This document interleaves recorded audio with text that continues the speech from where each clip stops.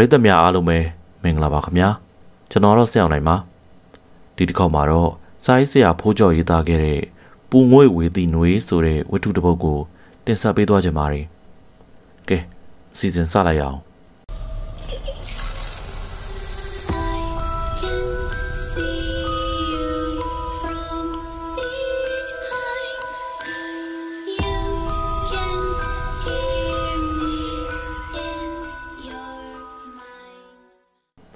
ဟေမန္နစေတာတို့ပါလျာစာပြုတ်နေတဲ့လမ်းမပေါ်မှာရွက်ကြွရွက်ချောက်များကိုတွေ့စာပြုလာပါတယ်။နှွေတကားခောက်တံကိုတော့စောင်းလေကပဲကြားခဲ့ရပြီးတနေ့တလဲမှာကမူဆောင်ရှိလက်ပတ်မင်းကြီးပေါ်မှာညံစီနေခဲ့ပါတယ်။နှွေခေါင်းလောင်းများလှုပ်ခတ်တန်တဲ့အတူအင်းမင်းဦးရဲ့ရင်ထဲမှာလည်းအလိုလိုဟာလာပါတယ်။ဓာတ်ဆန်း850ပစ်ကတ်ကိုတဲရှိမှထိုးရလိုက်ပြီးတမ်းမြင့်ဝင်နဲ့လှကြော်ထုံးတို့ပြစ်ထွက်လာကြပါတယ်။ ကားပေါ်ကတကြားအိမ်များကိုတဲချလာကြပါတယ်ဟေ့တကြားပဲစီဝယ်ခဲ့ရလဲကွအဲဒီကန်ထဲမှာချက်နှုတ်စီများကိုပုံနဲ့လောင်းထက်နေတဲ့တီယာဆိုးကလှမ်းမိပါတယ်ချက်တကြားနဲ့အစိုးရတကြားစီပြောပြီးတော့အင်းမင်းဦးအိတ်ဆောင်ဘက်ကိုရှောက်လာတယ်ဒီအချိန်မှာတဲနာရောက်လာတဲ့လှဲတစ်စီးကိုလှက်ကြည့်မိသားဖြစ်သွားပါတယ်ဖွဲပြင်းတဲ့လှဲကရက်လို့သွားပါတယ်လှဲပေါ်အကြည့်တစ်ချက်အဝေးမှာဖွဲကွန်ရောင်းခြင်းလိုပါရှင့်ဆိုတဲ့ အတန်တသားပေါ်လာပါတယ်ရုပ်သာတားနာတာမဟုတ်အတန်လေးတာပြီးတော့အပြင်စင်မှာလဲခါတိုင်းဖွဲလာရောင်းကြတဲ့ဝင်းကျင်ရွာများမှမိမ့်မသူမိမ့်မသားများနဲ့တခြားစီအကြည့်တစ်ချက်ဆုံးပြီးပါတယ်ဟေမင်းဦးရဲ့ရင်ထဲနှွေးလိုသွားပြီးတော့ဟုတ်ကဲ့ကျေးဇူးပြုပြီးတော့ဟိုဖွဲပုံနာလက်တစ်စိတ်လောက်ရွှေဝေးပါလားဗျာလို့ပြောလိုက်ပါတယ်ရပါတယ်လို့ပြောပြောဆိုဆိုနဲ့လဲရဖွဲပုံနာကိုရောက်သွားပါတယ်ဟဲ့အောင်မြင့်ရေ ဒီမှာဖွဲတဲ့တစီဟိစံပွင့်ရောဟုတ်ကဲ့အကိုအောင်မြင့်နဲ့စံပွင့်တို့ခေါ်ပြားကိုစီနဲ့ထွက်လာကြပါတယ်ဒီအချိန်ထိအင်းမင်းဦးလှဲပေါ်ကမိန်းကလေးကိုငေးနေပြီတော့သူတို့ဒီရွာစုံစကန်မှာချက်နှုတ်စီချက်ဖို့အတွက်လာနေကြတာတစ်နှစ်နီးပါးရှိပါပြီသူ့ကိုတခါမှမမြင်ဘူးရွာနီးချုပ်ဆက်မှနွားတို့လာရောက်ကြတဲ့မိန်းကလေးများထဲမှာသူ့ကိုမတွေ့ရဘူးဘယ်ရွာကပါလဲဆိုပြီးနှလုံးသားစိတ်ဆုံမှုကြောင့်ပါဇက်ကရောင်မထွက်သွားပါတယ်။ အာနာစရာများဖြစ်သွားလားရိုင်းများရိုင်းသွားပြီလားဆိုတဲ့အတွေ့မဆုံးခင်မှာဟေမဇာလာကပါဘာဖြစ်လို့လဲလို့ရရတက်တက်နဲ့ပြန်မေးပါတယ်။ရုပ်သားလှတာမဟုတ်သူနေတဲ့ရွာနာမည်ကလည်းလှပါတယ်။အားလုံးအလှတွေကြီးပါလားလို့တွေးမိလိုက်တယ်။ဘာဆက်ပြောရမှန်းမသိဖြစ်သွားပြီးတော့မှအပြန်မိုးချုံမှစိုးလို့ပါလို့အဆက်ပြေပြောလိုက်မိပါတယ်။သူ့ရဲ့စကားကိုမိမလာလေးကပြုံးပြီးတော့ဟိုရွာလေးလို့လက်ညှိုးညွှန်ပြရအောင်အကြည့်ရောက်သွားပါတယ်။ဟေမဇာလာဆိုတဲ့အမည်နဲ့လိုက်အောင် တော်ရန်ညိုညိုနဲ့မြူနဲ့မင်းလွင်ပြပြလိုလွင့်နေပါတယ် guys for watching this နေညိုသွားပြီဖြစ်တာကြောင့်စီးနေတဲ့လွန်ဒီကောင်မှာတန်လျက်အယောင်များကိုမမြင်ရတော့ပါဘူး thank you a lot ဟောကျွန်တော်ကဝေးရထင်လို့စေနာနဲ့ပါနော်ဟုတ်ကဲ့ကျေးဇူးတင်ပါတယ်ဖော်ရည်ကြီးမောနဲ့အပြောကလေးကိုပို့ပြီးတော့သဘောတွေ့သွားမိပြန်ပါတယ်စံပွင့်ကဖွဲလဲဖို့ငွေလန်းပေးနေရကြောင်းစကားပြတ်သွားပါတယ်ဒီနောက်မိန်းကလေးကပြန်လိုက်ပါဦးမယ်ရှင်လို့ပြောတယ် ဒီနောက်လှဲကိုအပြင်းမောင်းထွက်သွားပါတယ်အေးမင်းဦးရဲ့ရင်ထဲမှာမဟာစဘူးဟာသွားပါတယ်လွင်ကျောကိုဖြတ်မောင်းသွားတဲ့လှဲကိုရန်ငင်းနေပါတယ်ဖုံမုံနေနဲ့လုံးလိပ်ပြီးတော့ပါသွားပြီးရင်ထဲမှာလွမ်းပြီးတော့ကြဲရင်ခက်သူလိုဖြစ်နေပါတယ်ဟဲ့အောင်မင်းရဲ့ပြထားတိုင်းဈေးရောကွာငါမေးမှာဆိုလို့ဆိုပြီးအဝယ်စင်ရင်ကင်သူဇွန်နိုင်တင်းကလိုက်လာပြီးမေးပါတယ်ဟာအေးဟုတ်သားပဲကွာငါလုံးလုံးမေ့သွားတယ်ကွာ သူတို့နှုတ်စိမ်းဝယ်ရမှာနွားတို့စစ်မစစ်ရေရောနှုတ်အနှဲများကိုတိုင်းကြည့်ရတဲ့ဗရားတိုင်းတစ်ချောင်းကျိုးနေတာကိုနိုင်စော်လင်းပြောတော့မှသတိရပါတယ်ကြိုတင်သိမှတတ်မိုးရှိတဲ့သတိကနောင်နာဖြစ်သွားပါပြီဘာမှအကျိုးမရှိတော့တာကြောင့်ဖြစ်ရမယ်မင်းကမျိုးရောက်ရင်တော့အကုန်မေ့ပဲဒီလိုမျိုးမကြည်မနှက်ရေရုပ်ကဇွန်နိုင်ဝင်းနိုးချက်ကံဘက်ကိုလှက်ထွက်သွားပါတယ်နာမည်လေးမေးထားလိုက်ရကောင်းသားဆိုတဲ့နောက်တာဟာ ရင်ထဲကိုတန်းတန်းတက်တာနဲ့ရောက်လာပြန်ပေမဲ့နောက်ကျသွားခဲ့ပါတယ်နွားနို့ပုံနဲ့ဗရားတိုင်ကိုထိုးထည့်လိုက်ပြီးလက်ကနာရီကိုကြည့်မိပါတယ်စီကို5နာရီတန်ခွက်ပေါ်မှာပတ်ပြေးနေတဲ့လက်တံလေးစီကိုအကြည့်များစွာမရောက်မီသူ့ရဲ့မျက်နှာစီမှာသာအကြည့်ရဝဲနေပါတယ်ပဝင်းကျင်မှာတော့စကားပြောတန်းရှီမောတန်းတယောက်နဲ့တယောက်ထိကြငေါကြပြောင်ကြလောင်ကြနောက်ကြကြီးစဲကြတဲ့အတန်တို့နဲ့တော်တော်ညံလို့နေပါတယ် ရွာစုံပတ်ဝန်းကျင်မှာရှိတဲ့ရွာနီးချုပ်ဆက်ရွာများမှာနွားနို့လာရောင်ကြတဲ့အချိန်ဟာပျော်စရာအကောင်းဆုံးဖြစ်ပါတယ်ရောင်းသူဝယ်သူအဖြစ်တနေ့နီးပါးဆက်ဆံလာကြရာရောင်းသူဝယ်သူတွေမှာပြောမနာဆိုမနာဖြစ်နေကြပါပြီဒီထဲမှာမှဖွဲခွန်လာရောင်းတော့တခါအခုနွားနို့လာရောင်းလို့တခါနှစ်ခါသာတွေ့ဘူးမြင်ဘူးသူကိုအေးမေဦးကအကဲခတ်ကြည့်နေပါတယ်သူကလည်းအေးမေဦးပြုတ်လုံနေတာကိုပကတိမျက်နှာနဲ့ငေးကြည့်နေပါတယ်ဗရားတိုင်ကိုမြောက်ကြည့်လိုက်တော့ ဒီဂရီ30မှာပြနေပါတယ်။ဒါပေမဲ့စိတ်မချရသေးတဲ့ကြောင့်နွားနို့ကိုရှာဖို့တင်ကြည့်ရပါတယ်။နွားနို့ရောင်းသူတွေကပြထားဒီဂရီတက်စေဖို့ကောက်ရိုးရင်နဲ့ရောပါတယ်။ထရေချုံနဲ့ရောသလိုပြစ်ချွဲတဲ့ကော်မှုတ်ဂျုံမှုတ်အုံးကတ်စီမုံတို့နဲ့လည်းရောတက်ပါသေးတယ်။ဒါကြောင့်နွားနို့စစ်စစ်ရဖို့အတွက်ဗရားတိုင်ကိုကြီးပဲအားကိုးမရပဲရှာနဲ့တိုးကြည့်မိစန့်ကြည့်ရပါတယ်။နွားနို့စစ်မစစ်ရှားအားသိပြီးတစ်နှစ်ခန့်ရှိနေပြီဖြစ်တာကြောင့်အ င်းမင်းဦးရဲ့ရှားသိနေပါပြီ။ဘာနွားများမွေးလဲဆိုကမဆိုင်တဲ့စကားကိုအဆရှာပြီးတော့အင်းမင်းဦးကမေးလိုက်ပါတယ်။ finish မှာဘာဖြစ်လို့လဲဆိုပြီးတော့ရုတ်တရက်ပြန်မေးခံရတာကြောင့်ဘာဆက်ပြောရမှန်းမသိဖြစ်သွားပြန်ပါတယ်။နွားနို့မစစ်လို့လားရှင့်။ဟိုအဲစစ်ပါတယ်ဗျ။ဒါဖြင့်ဘာလဲ။ဩအရင်တော့တစ်ခါမှမတွေ့ဘူးလို့ပါ။ ကျမကတဟတ်တန်းရွာမှာចောင်းသွားပြနေရလို့ပါ။အခုចောင်းပိတ်လို့ရွာကိုပြန်လာတာ။ဩဆီယာမကို finish ချန်တွေကတနေ့ဘယ်လောက်ထွက်လဲဆီယာမ။ကျမတို့ရဲ့အိမ်ကအစမ်းမွေးကြည့်တာပါ။တသားကြမတန်းဆိုတော့ငါးပိတ်တာတော့မပြေပါဘူး။နွားလေးအတွက်လည်းချမ်းသာရသေးတယ်လေ။ဟုတ်ကဲ့ဘယ်နှကောင်များလဲလို့မေးတော့အမလေးဒီတယောက်ကလည်းစစ်လို့ဆေးလို့မပြီးသေးဘူးလားနင့်နေအေးနွားမွေးရောမလို့လားကဲငိမ့်ကြီးပြန်မယ်ပြန်မယ် ပြန်ကြမယ်ဆိုပြီးတော့အင်းမင်းဦးနဲ့မျက်နှာတမ်းမိနေတဲ့မိမကြီးတယောက်အနားရောက်လာပြီးတော့ပြောပါတယ်ဆီယာမဆိုသူငိမ့်ဆိုတဲ့သူကမတက်ထရပါတယ်နွားတို့ကြောင်ပြီးတော့ပြန်ကြသူများထဲမှာရောပြီးတော့ပါသွားပါတယ်နှုတ်တောင်မဆက်ခဲ့ပါလားငိမ့်ရီလို့ရင်ထဲကနေရေရွတ်လိုက်မိပြန်ပါတယ်ပါလျာသွားတဲ့နွားနို့လာရောက်သူများနဲ့အတူစောင်းနှောင်းနက်နက်ဆေးသားများလည်းလွင့်ပြေသွားပါတယ်။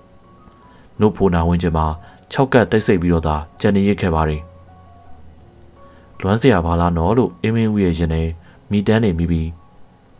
မင်းဟာငိမ့်မဟုတ်ပါဘူး။ညှိပါ။ကိုယ့်ရဲ့အသေးနှလုံးထဲမှာမင်းလာညှိနေပါပြီလို့တွေးလိုက်မိပါတယ်။ဟေးတငယ်ချင်းဟောဗျာဘသူများလဲလို့လက်စတက်တော့တရိတ်ဆန်ကိုကွာအေမီဦးနဲ့တရိတ်ဆန်ဆရာဝန်ဖေသားမောင်တို့မှာငယ်တငယ်ချင်းများဖြစ်ကြပါတယ်။ ဒါကြောင့်လဲတွေ့တွေ့ချင်းမြင်မြင်ချင်းမှာဖေသားမောင်ကိုအေမီဦးကတရိတ်ဆန်လို့နောက်ပါတယ်။တငယ်ချင်းဘယ်ကလှည့်လာတာလဲကွာ။ဟီမာဇလာဘက်မှာအမျိုးတွေခွာနာရှာနာကြနေလို့သွားကုပေးရတာတငယ်ချင်းရဲ့မင်းကမျိုးမန်းဆွေမန်းတော့တော်တော်သိတတ်တဲ့ကောင်ပဲ။ငါကမျိုးမန်းဆွေမန်းသိတတ်တာတငယ်ချင်းတို့အတွက်ပါကွာ။ဟာသိဟုတ်တာပေါ့နွားတွေခွာနာရှာနာမဖြစ်မှယောဂဘယ်ကကင်းမှာပဲတို့ရဲ့နိုးစီချက်တဲ့လုပ်ငန်းကအောင်မြင်မယ်မဟုတ်လားကွာ Thank you guys. ဒါပေါ့မင်းတို့အောင်တခုံနိုးစီချက်လုပ်ငန်းအောင်မြင်နေတာဟာလဲငါကြောင့်ပဲမဟုတ်လားဒီနဲ့တွိုက်ကနွားတွေငါဆေးကူပေးနေရကွာအေးပါကွာကိုတငယ်ချင်းကိုကျေးဇူးတင်ပါတယ်ထမင်းစားပြီးမှအေးဆေးပြန်ကွာလက်မင်းဖိုင်ရင်နဲ့အင်းမင်းဦးကဒီလိုပြောတော့ဟေးကွာငါလည်းမင်းတို့လုပ်ငန်းကိုတကားမှမရောက်ဖြစ်တော့အခုအေးဆေးလေးလာခြင်းလို့တမင်ဝင်လာတာကွာဝမ်းသာလိုက်တဲ့တငယ်ချင်းရာလာလာလို့ပြောရင်းနဲ့အင်းမင်းဦးကဖေးသားမောင်ကို ချက်နှုတ်ကန်ဘက်ကိုလက်ဆွဲခေါ်လာပါတယ်တီယာဆိုးတော့သူ့အမေနေမကောင်းလို့မြို့ကိုခဏပြန်သွားတယ်ကွာဟိုကောင်ဇွန်နိုင်လင်းကလည်းငှက်ပြတ်ထွက်သွားတယ်သူပြန်လာရင်ယုံနေပါရီတော့မှတစ်ခါတလေပါလာတတ်တယ်မင်းယုံသားစားရတာပေါ့ကွာဟေးရက်ဆက်လာကြည့်တာတငယ်ချင်းရဲ့ကိုအမျိုးတွေအသာကိုပြန်စားရမယ်ဆိုတော့ဘလို့လုပ်ပြီးတော့မျိုးကြပါမလဲကွာလို့ပြောပါတယ်ဖေးသားမောင်ပြန်တော့တာကိုအင်းမင်းဦးကလက်သီးနဲ့ကြောကုန်းကိုကြီးဆယ်ပြီးတော့ထိုးလိုက်ပါတယ် ဟာတို့မြမပြည်သူပြည်သားတွေတော့ဒုက္ခပဲဆိုကဖေးသားမောင်ကနှုတ်ရည်တွေပြစ်ထနေတဲ့ချက်ကန်ကိုစစ်စစ်ကြည့်ပြီးတော့ပြောလိုက်ပါတယ်နှုတ်ချက်ကန်အားလုံးမှာနိုင်ငံခြားရေချိုးကန်အဟောင်းတွေကြီးပဲဖြစ်လေရာဒါကိုဖေးသားမောင်ခက်တီတီနဲ့နောက်တဲ့ကြောင့်အင်းမေဦးကဘိုက်ကိုလက်သီးနဲ့မနာအောင်ထိုးလိုက်ရပါတယ်ဒါဟုတ်ပဲတကြားကြီးချွတ်နေတဲ့လှကြော်ထုံးကလည်းသဘောကျပြီးတော့ရှိပါတယ်ဒီရေစိန်ချိုးတဲ့ကန်တကန်မှာမင်းတို့နွားတို့ဘယ်နှပိတ်တာလောက်ချက်လဲကွာ ဟေးပိတ်တာ20လောက်တော့ချက်တယ်ကွာတကြားကရောတကြားကငါးပိတ်သားချက်ပြီးတော့ဘလို့များထားတယ်လဲချက်ပြီးသားနိုးစီထဲတဲ့ပုံတွေဘလို့များစေးကြောတန့်စင်ရတယ်ဆိုတာကိုပြမယ်မင်းကတရိတ်ဆန်တစ်ကောင်ရဲ့အမြင်နဲ့ကြည်ပေးစမအောင်လို့ပြောကအေးမင်းဦးလည်းဖေးသားမအောင်အေးကံဘက်ကိုဆွဲခေါ်လာပါရီအဲ့ဒီနိုးပိတ်သား20နဲ့တခြား၅ပိတ်သားချက်တော့မင်းတို့ချမ်းတို့စီဘယ်လောက်ရလဲကွ ဆယ်ပိတ်သား50သားရရည်လေကွာမင်းတို့နွားနို့တပိတ်သားကိုဘယ်ဈေးဝယ်လဲဘာလဲမင်းကနွားမွေးပြီးတော့ဒိုးစီကိုနိုးရအောင်မလို့လားကွာရောင်းပေါ့ကွာကောင်းတာပေါ့နှုံးမဆိုရင်တော့တပိတ်သားကို18ကျပ်ပေးမယ်ကွာငါတို့နိုးစီပြန်ရောက်တာကတော့တပိတ်သားကို60 90ပေါ့ကွာလက်လီဈေးကိုပြောတာမဟုတ်ဘူးနော်တကယ်ဆိုရင်တော့90 60မြတ်တာပေါ့အေးကွာဘလို့နွားတွေမိုးရင်ကောင်းမလဲကွာမင်းရဲ့ဗ တရိတ်ဆန်ကူတယ်လူဟာငါ့ကိုလာမေးနေတယ်သွားစမ်းကွာပောက်ကြရတယ်အေးကွာတရိတ်ဆန်ကူဆိုတော့အခုကုယုံနဲ့မလုံလောက်လို့မွေးရလေးပါလုံမလားလို့ပေါ့ကွာလို့ပြောရင်းနဲ့တငယ်ချင်းနှစ်ယောက်စကားပြောကောင်းနေကြပါတယ် For watching this video. Recently we ဆရာမ are getting မနေတော့ကမလာဘူးနော် subscribers. Thank you. ဒီလိုအစချီပြီးတော့သူမျောနေမှန်းသိအောင်လို့အမေဦးကတမင်မေးပါတယ်ငိမ့်ကခေါင်းညိတ်ပြပါတယ်ဘာဖြစ်လို့များလဲဆရာမရဲ့ ကျမမအားလို့သူများနဲ့ထဲလိုက်ရတယ်လို့ပြောတယ်ဟောကျွန်တော်ကနေများမကောင်းဘူးလားလို့စိုးရိမ်နေတာဆိုပြီးရှက်ရှက်နဲ့စကားမရှိစကားရှာပြောနေတဲ့အမေဦးရဲ့စကားကိုငိမ့်ရပြုံးပြီးတော့ကောင်းပါတယ်လို့လည်းရီကျက်ကျက်နဲ့ပြန်ပြောပါတယ်ဆီယမចောင်းသွားပြရတဲ့ကြွားကဒါဟာကုန်းဆိုတော့လက်ပံတော်နဲ့နီးတာပေါ့နော်ဟုတ်ကဲ့နီးပါတယ်ဘာများဖြစ်လို့လဲလို့မေးတော့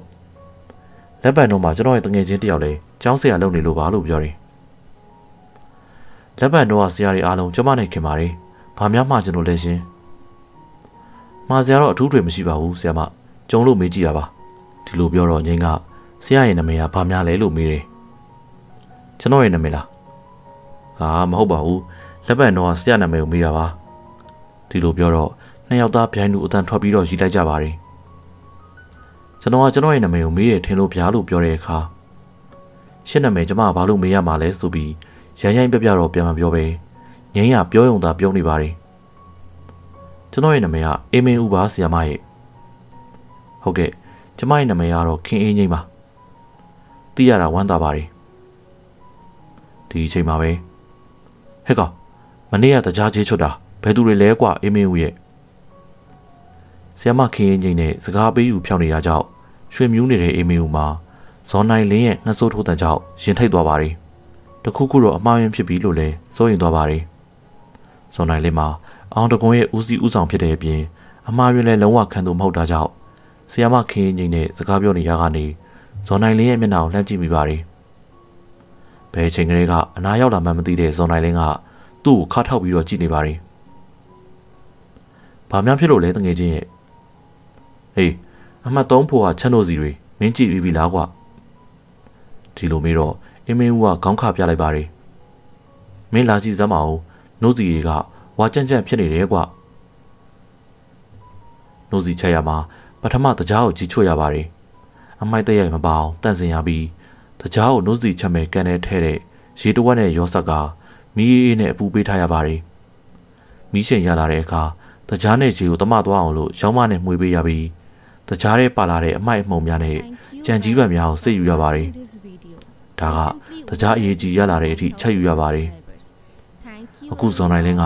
ချက်နို့စီဝါကြက်ကြက်ဖြစ်နေတယ်လို့ပြောချင်မှာတကြားကြီးမစင်လို့ဖြစ်ပါတယ်ဒီမှာမနေ့တော့ကတကြားကြီးချွတ်တာဘဲကောင်လဲကွာဆိုတဲ့ဇွန်နိုင်လင်းရဲ့အတန်မာလာပါတယ်အေးကွာငါလည်းအမှတ်တမဲ့ပဲတီယာဆိုးတို့ကိုမေးကြည့်အောင်မယ်လို့ဖြေတဲ့အခါမင်းကလည်းဘာမှမသိချဘူးငါတနေ့မရှိရနဲ့ကိုယိုကာရဖြစ်တော့တာပဲမင်းကိုကြီးကြပ်ဖို့အတွက်ငါမှာခဲ့တာပဲ ဒီတိုင်းဆိုရင်တကန်လုံးကိုပြည့်ရတော့မှာဆိုပြီးတော့အပြစ်တင်လာတဲ့အခါမှာအင်းမင်းကိုလည်းခင်အင်းကြီးရဲ့မျက်နှာကိုတစ်ချက်လှမ်းကြည့်လိုက်ပါတယ်။နိုဘုံကိုဆွဲပြီးတော့ခင်ကြီးအထမှာပဲသူ့ရဲ့ရင်ထဲဆွေးသွားပါတယ်။ဒီကောက်နဲ့အရေးတယ်ဆိုကဇော်နိုင်လင်းကိုလည်းမကျေနပ်ချင်ပေမဲ့ဘလို့မှမတတ်နိုင်ပါဘူး။ဇော်နိုင်လင်းအနောက်ကိုသာထားပြီးတော့လိုက်လာခဲ့ရပါတယ်။ခင်အင်းကြီးရဲ့မျက်နှာကိုတော့လှည့်ကြည့်လှည့်ကြည့်နေပါပဲ။ခင်အင်းကြီးနဲ့သူနဲ့ ဒီနေ့ဒီလောက်အထိရင်းနှီးစကားပြောလိုက်ရတာကိုပဲကျင်းနေနေပြီးနောက်နေ့နောက်နေ့တွေဆိုရင်ပို့ပြီးတော့ရင်းနှီးအောင်စကားဖောင်ဖွဲ့နိုင်ပါပြီဒီအတွေးနဲ့ပဲဇဇော်နိုင်လင်းရဲ့အနောက်ကိုလိုက်လာခဲ့ပါတယ်အပျော်ကလေးနဲ့လေးကလေးတောင်ချွန်လာပါသေးတယ်ဒါဟုတ်ပဲဇော်နိုင်လင်းကအရင်မရှိအဖျားမရှိပဲမသိပဲနဲ့ဘာလဲကွာလို့អော်လိုက်ပါတယ်နိုးတကန်စံချိန်မမီရနဲ့ဇော်နိုင်လင်းဟောက်တာကိုဒီနေ့အေးမေးကိုစိတ်မဆိုးပဲခင်းအင်းငိမ့်နဲ့ပတ်သက်တဲ့မျောလင်းချက်ကြောင့် ပို့ပြီးတော့သာပျော်ရွှင်နေခဲ့ပါတယ်လမ်းတစ်လျှောက်မှာဂိမန်နာရဲ့စေးဆက်စေးခွက်များကစွန့်ထင်းနေပြီးချက်နို့စီပုံခုံပုံလို့များတင်လာတဲ့အေးမင်းဦးရဲ့ကားလေးကဘူတာကလေးနားကိုရောက်လာပါတယ်ဘူတာနာဝင်းကျင်မှာကြံတောင်သူတို့ရဲ့ကျွဲလဲများနဲ့ပြည့်ကျက်နေပြီးအုပ်ကျုံမိုးထားတဲ့ခေဟောင်းဘူတာယုံကလေးရဲ့အမိုးနီနီပေါ်မှာကိုကိုရချောက်များကဒူးတက်နေပါတယ်လေဟုံစီကပြန်ဝဲကျဲကျလာတဲ့ရောဝကျွေများကလည်းဘလူပြန်နေကြပြန်ပါတယ် ကြံပြစ်တင်ထားတဲ့ကျွဲလဲများပိတ်နေရကြောင်းအေးမင်းဦးကကားကိုလက်စိတ်ဘက်ကွေ့လိုက်ပါတယ်ဘလို့မှမျောလင့်မထားတဲ့ခေးငင်းကိုလက်စိတ်နာကုတ်ကိုပင်ရောက်မှာမတ်တက်ရက်ပြီးတော့တွေးလိုက်ရပါတယ်။ဝမ်းသာအားရနဲ့ကားကိုလက်စိတ်နာမှာထိုးရလိုက်ရာရုတ်တရက်ဖြစ်တာကြောင့်ခင်းငိမ့်နောက်မှာလန့်သွားပါတယ်။ဘယ်ဟုတ်သွားမှလဲဆရာမဆိုကကားရှိရာခေါင်းပြူပြီးတော့ခင်းငိမ့်ကိုလှမ်းမိလိုက်ပါတယ်။ဟောဘယ်ဟုတ်မှမသွားပါဘူးရှင်။ တစ်ပုတ်ပင်ဘက်ကနေပြန်လာတာရွာကိုလဲကြုံများရမလားလို့ဒီမှာခဏစောင့်နေရပါလို့ပြောတယ်။ကျွန်တော်ရဲ့ကားနဲ့လိုက်ခဲ့ပါလားဆရာမရဲ့လမ်းကြုံသားပဲလို့ခေါ်တော့ခင်းငိမ့်ကချီတုံချတုံဖြစ်နေပါတယ် for watching this အင်းမင်းဦးကတော့ရှင်ခုန်နေပြီး We are hitting 1000လိုက်ခဲ့ပါဆရာမရေအားနာစရာမရှိပါဘူးဆိုကကားပေါ်ကဆင်းလာပြီးတော့ပြောပါတယ်ရွာစုံကနိုးချက်ဖို့အထိပဲရောက်မယ်ထင်တယ်နော်လို့မေးတော့ရပါတယ်ဗျာကျွန်တော်ဟေမောဝါလဲစိတ်အထိလိုက်ပို့ပေးပါမယ်လို့ပြောပြပါတယ် အားနာစရာကြီးရှင်နေပါစေဟာအားမနာရပါဘူးဆရာမရေရင်းနေပြီးသားသူတွေပဲဒါပါတက်ပါကျွန်တော်နဲ့ဆရာမတို့ကအကျိုးတူစည်းပွားပါပါနိုးချက်သူနဲ့နိုးရောင်သူဆိုတာတစည်းပွားတယ်လို့ပြောရင်လည်းရပါတယ်လာပါတက်ပါလို့ပြောပြီးတော့ဆက်ဖြစ်ဖြစ်လောက်ကချက်ချင်းပဲကားကောင်းဘက်ကပြေးပတ်ပြီးကားတကားဖွင့်ပေးထားလိုက်ရပါတယ်ခင်းချင်းကရင်ရင်ကလေးရှောက်ပြီးတော့ကားပေါ်ကိုတက်ပါတယ်ခင်းချင်းအနေမှာဘလို့နေမှန်းမသိပေမဲ့လည်း အင်းမေးဦးရဲ့ရင်ထဲမှာတော့ကားအင်ဂျင်နဲ့အပြိုင်ခုံပေါက်လို့နေပါတယ်ကားဆောင်တဲ့အခါမှာဘေးချင်းပခုံးချင်းတိုက်မိကြပြီးခင်းချင်းကိုအားနာတာကြောင့်စကားမရှိစကားရှာပြောရပါတယ်တစ်ပုတ်ဝင်ဘက်ကဘာသွားလုပ်တာလဲဆရာမကြီးကျောင်းကိစ္စလားမဟုတ်ပါဘူးရှင်ဆွေမျိုးတယောက်နေမကောင်းလို့သတင်းသွားမိတာပါဟုတ်ကဲ့အခုဘယ်နဲ့နေသေးလဲတတ်တာပါရီလမ်းကျန်တာကြောင့်ဘေးချင်းတစ်ချက်ထိမိသွားပြန်ပါရီ အင်းမင်းဦးကပို့ပြီးတော့ရှင်ခုန်သွားကတစ်ပုံးပေဘက်ကနေဆိုင်ဒီဘက်ကလမ်းနဲ့နဲ့ကျန်းနေဆရာမရဲ့လို့ပြောလိုက်ပါရီကွင်းကောက်တရာကြော်လာပြီးအင်းမင်းဦးရဲ့ရင်ထဲမှာပို့ပြီးတော့ရှင်ခုန်မြန်လာပါရီခင်အင်းငိမ့်ဆိုတဲ့ဆီယမနဲ့ပတ်သက်လို့သူနောင်နာရခဲ့တဲ့များကိုပြန်ပြီးတော့သတိရပါတယ်ဒီနေ့ကတော့သူ့အတွက်ကံကောင်းတဲ့နေ့ပဲဖြစ်ပါတယ်ခင်အင်းငိမ့်ကိုသူမြင်မြင်ချင်းတွေ့တွေ့ချင်းမှချစ်မိကြောင်းဘယ်ရစပြောရင်ကောင်းမလဲလို့ကောင်းမောင်းရင်းနဲ့စဉ်းစားလာပါတယ် သူချစ်စကားပြောလိုက်ရင်ချက်ချင်းပဲကားရက်ခိုင်းပြီးတော့ဆင်းသွားမှလည်းစိုးရိမ်ပါတယ်ခင်အင်းငိမ့်ကိုကြည့်ရတာမာနာလည်းစီပုံရတာကြောင့်ဆရာမဒါဟကုန်းဘက်မှာကြောင်းသွားပြရတော့နည်းနည်းတော့ဝေးတယ်မလားဟေမဇာလာမှာလည်းကြောင်းရှိတာပဲဆရာမရေကိုရွာကိုပြောင်းလို့မရဘူးလားလို့ပြီးတော့ကျမကအလဲတန်းပြမို့လို့ပါကျမတို့ရဲ့ရွာကမူတန်ရန်ကျောင်းဖွင့်တာတော့၃နှစ်ပဲရှိပါသေးတယ်လို့ပြောတယ်ဟောဟုတ်ကဲ့ဒါဟကုန်းဆိုတော့နည်းနည်းတော့ဝေးတယ် ဒါကြောင့်ကျွန်တော်ကမေးတာပါလို့ပြောတဲ့အခါဒါဟကုန်းမှာကျမရဲ့စုမျိုးတွေကဟေမဇာလာမှာထက်တောင်များပါတယ်တရွာလုံးအဖေရဲ့အမျိုးတွေကြီးပါပဲအဖိုးရင်လည်းရှိပါတယ်ဒါဟကုန်းကကျမတို့ငငယ်ကလေးကနေလာတဲ့ရွာပါလို့ဆိုကသူ့ရဲ့စကားမဆုံးမီပေါက်ပေါက်ဖောက်တယ်လို့တွတ်တွတ်လက်လက်ပြောလိုက်တဲ့ခင်းကြီးရဲ့စကားကြောင့်အင်းမဲဦးမှာတပြင်းရှည်တစ်ချက်ကိုမတိမတာချမိသွားပါတယ်ခင်းအင်းကြီးနဲ့ပတ်သက်ပြီးတော့တွေးစားတော့ကသူပြောမိတဲ့စိုးရင်လိုပါဆိုတဲ့စကားကို ခင်းအင်းကြီးကယခုတခါထပ်ပြောမှဆိုလို့ပြောလိုက်ချင်မှလားလို့ဝမ်းနေသွားပါတယ်ခင်းအင်းကြီးနဲ့ပတ်သက်ပြီးသူ့အနေနဲ့ဘာမှစိုးရင်စရာမရှိကြောင်းနမိတ်ပြတဲ့စကားလေးလားလို့တွေးကဝမ်းနဲ့အားငယ်စိတ်တို့အတွေးများရင်ထဲမှာအလိုလိုပြေးလာပါတယ်။သူခင်ရင်ချင်းကိုဘလောက်ချစ်ကြောင်ဘလို့များစပြီးတော့စကားပြောရမှမသိဖြစ်နေပါတယ်။ခင်ရင်ချင်းကိုမသိမသာအကဲခတ်ကြည့်လိုက်တော့တီတီငိမ့်ငိမ့်နဲ့အရှိဥသာငေးပြီးတော့လိုက်ပါလာပါတယ်။သူနဲ့ပတ်သက်ပြီးတော့ ခင်ရင်ချင်းကတစုံတရာကိုမေးစေချင်ပါတယ်။အထူးသဖြင့်တော့သူတို့မိသားစုရဲ့အကြောင်းသို့မဟုတ်လက်ရှိတငယ်ချင်းတွေစူပေါင်းပြီးရွာစုံမှာနှိုးစီချက်ဖို့အတွက်လာတဲ့နေကြတဲ့အကြောင်းအကျိုးအမြတ်နဲ့လုပ်ငန်းသဘာဝဒါတွေကိုခင်းရင်းချင်းကတခုမှမမေးတဲ့အခါ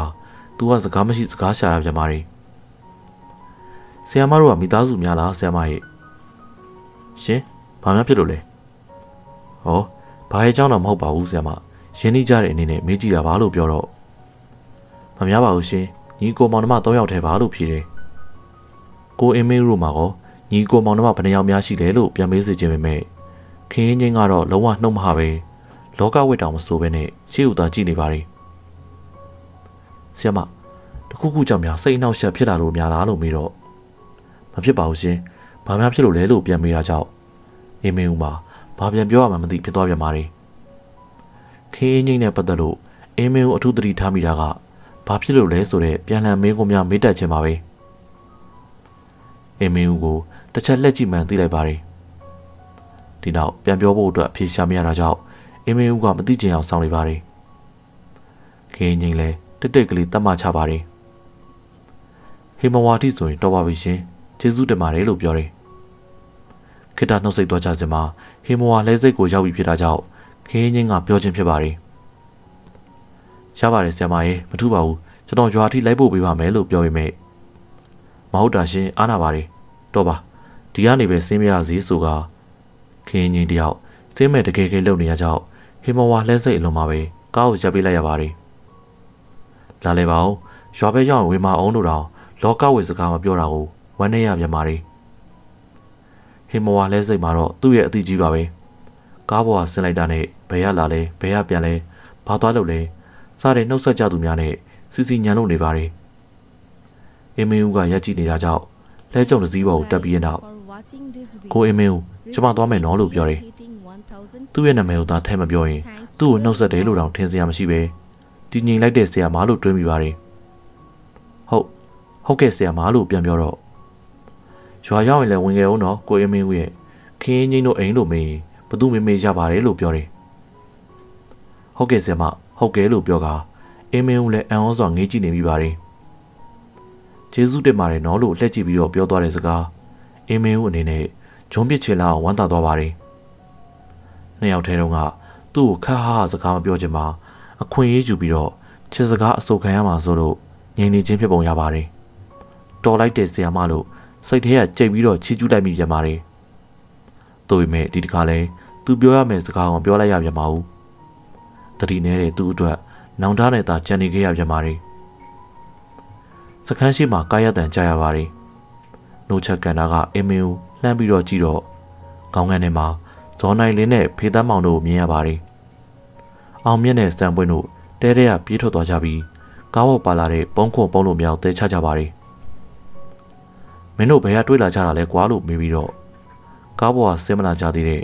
ဇော်နိုင်လင်းနဲ့ဖေးသားမောင်တို့အနာအင်းမင်းကိုရှောက်လာပါတယ် မြို့ကနေလိုက်လာတာတငယ်ချင်းရဲ့ဆိုကဖေးသားမောင်ရဲ့အပြေကိုဇော်နိုင်လင်းကပါဖြစ်ဆွတ်ပြောပါတယ်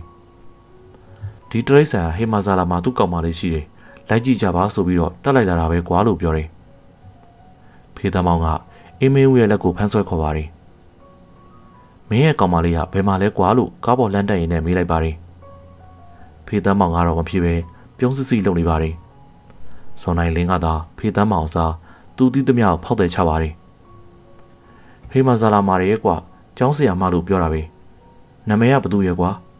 ဘာတဲ့ဖေးသားမောင်မင်းရလဲကွာတလန်းလုံးပြောလာတာမမှတ်မိဘူးလားခင်းအင်းကြီးမှာဆိုကွာလို့ပြောရင်းနဲ့ရီမောလိုက်ပါတယ်ဟေးခင်းအင်းကြီးဟုတ်လားဟုတ်တယ်လေကွာမင်းသိလို့လားလို့ပြန်မေးတဲ့အခါအင်းမင်းကိုလည်းနှုတ်ဆက်သွားပါတယ်စကမေးတော့မရတော့ပါဘူးခင်းအင်းကြီးကိုဟေမဝါလက်စိတ်အထိလိုက်ပို့တဲ့နေ့ကို သတိရမိသွားပြီးကားဆက်တန်တဲ့အတူလွင်တီးခေါင်မှအပူငွေ့တန်လျက်များသူ့ရဲ့ရင်ကိုလာပြီးတော့ရိုက်ခတ်သွားပြန်ပါတယ်ဟောပူငွေ့ဝေတဲ့နှွေပါလားဟုတ်ကဲ့ပါခင်ဗျာအခုလိုမျိုးအားပေးနှထောင်ခဲ့ကြတဲ့အတွက်အထူးပဲကျေးဇူးတင်ရှိပါတယ်နောက်နေ့ဒီမှာလည်းဇလန်းကောင်းတွေကိုတင်ဆက်ပေးတော့မှာဖြစ်တာကြောင့် subscribe နှိပ်ပြီးစောင့်မျှော်အားပေးနှထောင်ကြပါအောင်လို့ပြောကြရင်းနဲ့နှုတ်ဆက်လိုက်ပါတယ်ကျေးဇူးအများကြီးတင်ပါတယ်ခင်ဗျာ